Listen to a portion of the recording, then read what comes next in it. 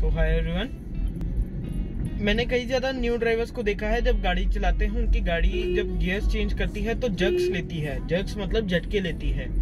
सो so, वो क्यों लेती है क्या कारण है उसके लेने के और उसको प्रिवेंट कैसे करना है ठीक है? वो आज की वीडियो में उसके बारे में बात करने वाले हैं। तो सबसे पहले जर्किंग्स आती कैसी हैं?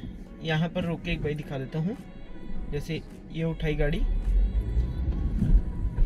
ये। जो एक झटका आता है एकदम से, इसको कहते हैं जक्स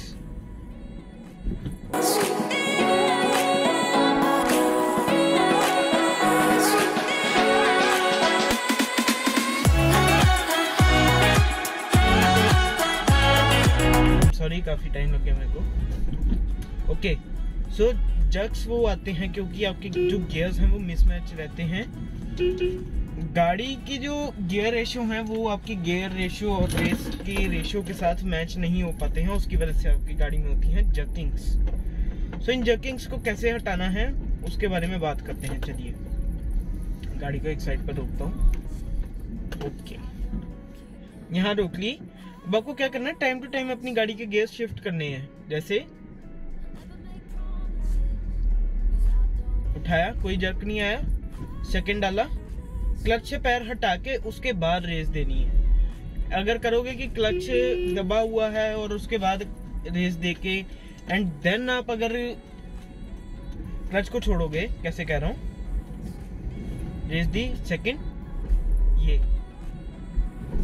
ये ये जर्किंग आएँगी अगर आप क्लच के साथ ही ड्राइव करते रहोगे तो।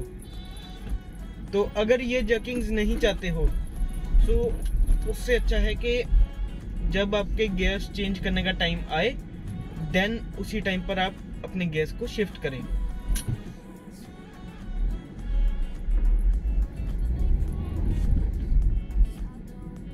क्लच से पैर हटाया एंड देन रेस दी। ऐसे करोगे जर्क नहीं लगेगा। और ये सिचुएशन को समझना पड़ता है कि अब क्या हमारी जग्स लग सकती हैं कि नहीं। अब जैसे मेरे पीछे बाइक थी, उसके पीछे एक कार थी। मेरे को थोड़ी सी रेस ज़्यादा देनी पड़ी, जिससे मेरी स्पीड चली गई 25 तो 25 स्पीड पे अगर मैं सेकंड गियर डाल देता, जग लगता ही लगता, इससे अच्छा था। क्लच दबाया। गाड़ी थोड़ी सी स्लो हुई मतलब 22 21 पर आई। सेकंड गियर डाल दिया क्लच से पैर हटाया एंड देन रेस दी। मजाल है कि आपके गाड़ी पे कोई किसी टाइप का जग आएगा। अगर कोई हाँ टूटी फूटी रोड का है तो मैं कह नहीं सकता, क्योंकि रोड टू रोड भी डिपेंड होता है जग्स का। हाँ लेकिन अगर आपकी गाड़ी में जग्स आ रहे हैं गियर्स की वजह से तो तो वो बिल्कुल नहीं आने वाले, वो मैं कह अगर आप ट्यूटर भी हायर करोगे कि ये मेरे को सिखा देंगे तो भी वो ये चीज़ आपको नहीं सिखा पाएँगे कि हाँ भाई जग्स कैसे हटाने हैं गाड़ी में से? तो अगर आपकी गाड़ी जग्स ले रही है तो उससे बेटर है कि हाँ भाई, ये काम कर लो। सो बेटर रहने वाला है।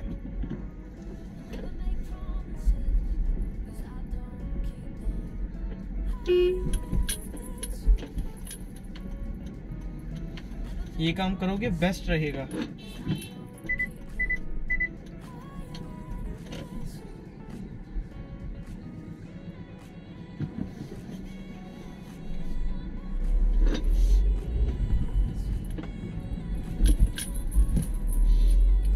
गाड़ियाँ गाड़ियाँ थी तो बेटर था आगे से ले कोई बात। ये ईगो नहीं रखनी कि हाँ भाई मैं चला रहा हूँ मैं पहले आया कि तुम बैक कर लो ऐसे। एनी तो भाई ये चीज़ होती है कि आपको बहुत सी चीज़ों का ध्यान रखना पड़ता है एंड जर्किंग्स में यही चीज़ आती है ज़्यादा वीडियो खींचने की ज़रूरत मैं समझूँगा नहीं क्योंकि आपका ही टाइम वेस्ट होगा मेरा भी होगा सो कोई फ़ायदा नहीं है। सिंपल सिंपल भाषा में कहूँ, दो तरीके हैं गाड़ी को जग से हटाने के। एक ही है मोस्टली वो क्या है? दोबारा बता देता हूँ। वीडियो वाइंड अप कर देते हैं, ताकि आपको पता लग जाए।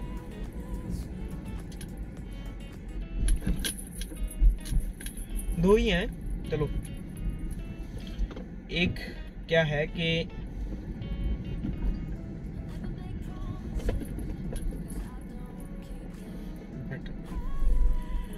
ओके सो so, एक क्या है कि गाड़ी जैसे रोकी फ़र्स्ट गियर डाल दिया ठीक है? अब मैंने अगर सेकंड में शिफ्ट करना है रेस दी स्पीड आ गई। एक एक क्लच छोड़ के पैर नीचे करके रेस देने। सॉरी और दूसरा क्या रहने वाला है? इसमें भी सेम फ़र्स्ट गियर डाला। दो मिनट स्पीड ब्रेकर है इसको पार करें। ओके सो क्या रेस दी? Second gear. जितना जितना क्लच उठा रहे उतना उतना रेस को दबाई जाना है। मतलब ऐसे फुट मूवमेंट होनी चाहिए। जो फ़र्स्ट प्रोसेस है आपका उसमें क्या होता है? गियर चेंज किया ये रेस है। रेस पे से पैर हटाया हुआ है एंड ये क्लच है ठीक है? सो so, क्लच छोड़ना है उसके बाद रेस दबानी है। जो सेकंड मैंने किया उसमें है ऐसे कि जितना जितना क्लच उठाना उतनी उतनी रेस देनी। सिंकिंग रहनी चाहिए बहुत अच्छी वाली। ये।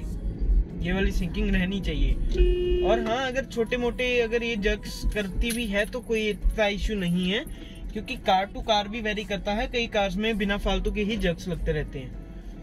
तो कईयों में किसी कारण लगते हैं, कईयों में बिना फालतू लगते हैं। सो ये चीज़ नहीं है कि आपके से गेयर्स मिसमैच हो रहे हैं, लेकिन हाँ हो सकता है कि कई और, कोई और भी कारण हो, कोई आपका पेट्रोल कम है, तब जग करेगी या कुछ करेगी।